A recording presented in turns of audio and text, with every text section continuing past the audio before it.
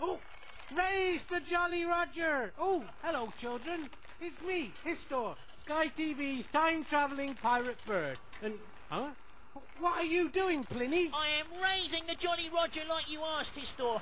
You said raise the Jolly Roger, and I've raised this picture of Roger Moore. Who you see is looking jolly. Understand? No, that is just pathetic. But Egg, it. I'm not even going to bother a chance. I'll ah, see yourself. What's the news, Histor? Well, you may have seen on the grown-up news... The grown-up news.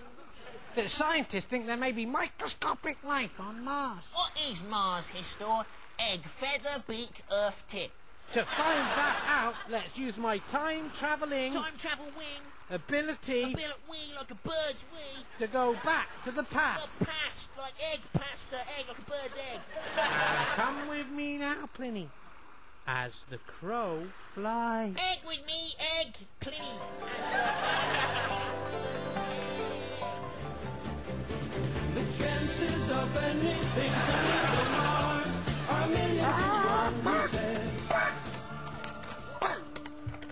place is this, Histor? This is Mars, Pliny, the red planet. The red gannet, like a bird, the gannet. And who is that man coming there, Histor? That, Pliny, is no one. There is no one there. The chances of anything coming from Mars are a million to one. A bill, Ian, like a bird's bill. Two hen, like a hen. I hate hens. But what are we going to do, Histor? Normally, our adventures in time and space involve us getting into a brief philosophical dialogue with some third party who we meet at our chosen destination. I know that, Pliny. I deliberately came here to planet Mars because it's quiet and secluded.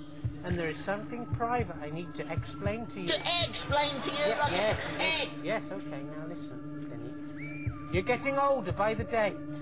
Have you ever wondered where baby birds come from? They come from eggs, Histor. Eggs, egg. I said eggs. Yes, yes, yes, but, but where do eggs? Eggs! Yes. Where do eggs come from, Pliny? Oh. I don't know, Histor.